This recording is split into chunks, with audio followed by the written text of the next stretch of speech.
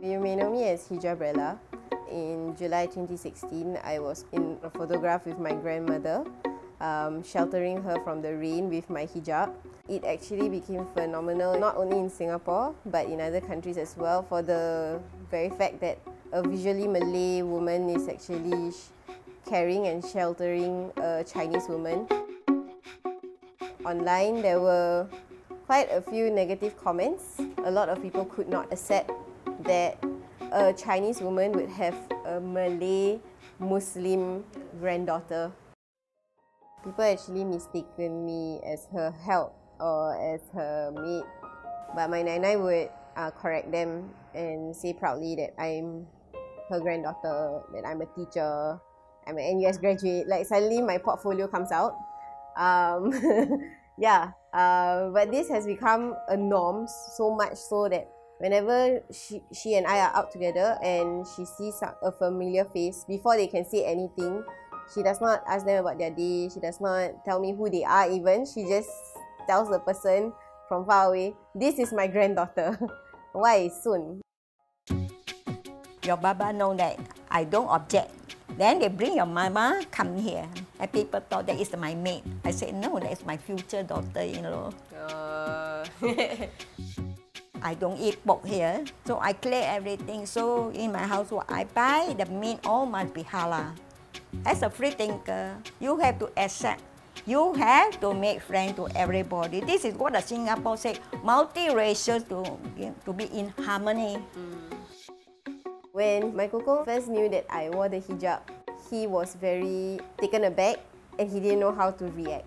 That is one of the questions that came into the conversation at Chinese New Year, which is that does that mean that because of this cloth, you are no longer going to be close to me or we won't have that bond anymore? I actually am very close to both sides of my family, my Malay side and as well as my Chinese side.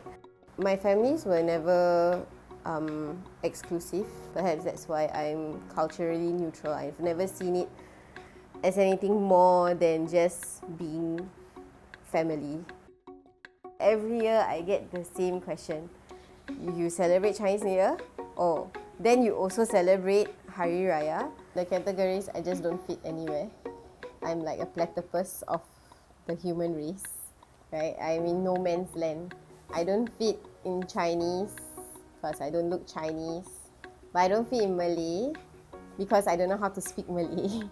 um, so because I'm in no man's land, I'm just lost there is a miseducation in a sense that because Chinese New Year is a cultural thing, um, it is simplified that everything else is cultural. So they say, oh, um, Sakinah, so you are Muslim and you celebrate Chinese New Year, so you are doing a sin. So they think that I do gambling.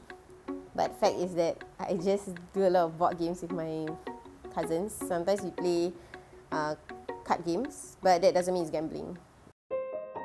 Our education system is built on the sense that they want to be sensitive, so sensitive that they are so scared of actually touching waters that they haven't touched for very long. Even if our education system is not ready, they have to force themselves to be ready. I'm not a rarity nowadays. You know, there are many of people like me who are half Chinese, half Malay. They are strewn where they we no man's land is growing larger and larger and larger. I hope that instead of just assuming things that they think they got used to that people will actually be open to opening conversations. In fact, they should be scared of not opening conversations because that's how they offend each other.